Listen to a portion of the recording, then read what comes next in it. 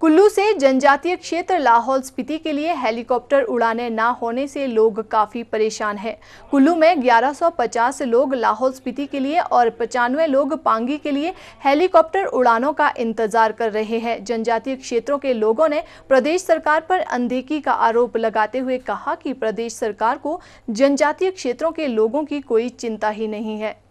जनजातीय क्षेत्र लाहौल स्पीति पांगी चंबा के लिए 2 अप्रैल के बाद हेलीकॉप्टर उड़ाने नहीं हुई है, जिसकी वजह से लाहौल स्पीति पांगी के सैकड़ों किसान कुल्लू में फंसे हुए हैं।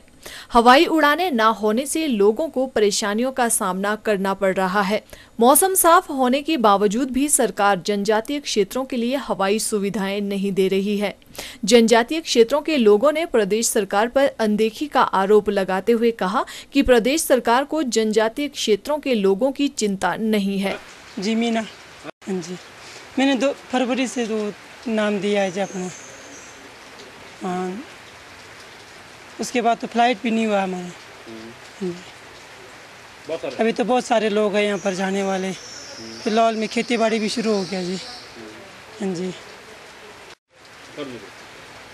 हम चाहते हैं जी जल्द से जल्द वो फ़्लाइट उड़ान हो।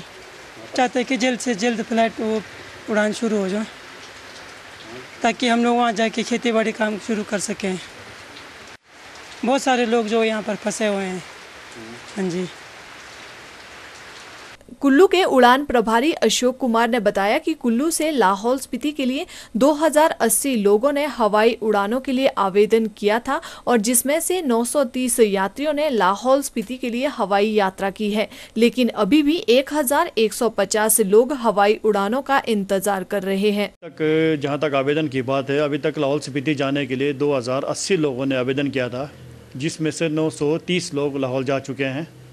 और और जहाँ तक उड़ान से संबंधित सवाल है, उसमें दो तारीख, दो अप्रैल के बाद अभी तक कोई उड़ान लाहौल के लिए नहीं हुई है। जहाँ तक लाहौल जाने का सवाल है, वहाँ पर अभी तक हमारे पास एक हज़ार के आसपास लोग पेंडिंग बैठे हुए हैं, जो लाहौल जाने के इंतजारी में बैठे हैं, जिसमें कुछ किसान हैं, बागवान भी हैं, और कुछ याद पेशेंट है, जो इलाज के लिए यहाँ आए थे, जिनमें किसी घर में कैजुअल्टीज़ हुई है, वो भी यहाँ पर अभी इंतजारी में है। रोहतांग मार ऑलरेडी बंद है, सुरंग से लोगों को जाने नहीं दिया जा रहा है। तो एक उड़ान ही है सिर्फ़ वो है, समझ, वो है। हेलीकॉप्टर उड़ान ही है जिसके थ्रू लाहौल जा सकते हैं लोग। तो अभी हमारे पास 900 या एक हज़ार के आसपास लोग बैठे हैं लाहौल जाने के लिए। तो दो तारीख से अभी तक हमें किसी तरह की शेड्यूल जारी नहीं हुई है जी से। और हम भी उनसे संपर्क में है कि कब तक हमें शेड्यूल दोबारा मिलता है। तो लोग भी हमारे पास आ रहे हैं, वो बार बार पूछ रहे हैं कि कब तक शेड्यूल जारी होगा। तो अभी तक हमारे पास शेड्यूल संबंधी कोई जानकारी नहीं है। सिटी चैनल के लिए कुल्लू से दिलीप ठाकुर की रिपोर्ट।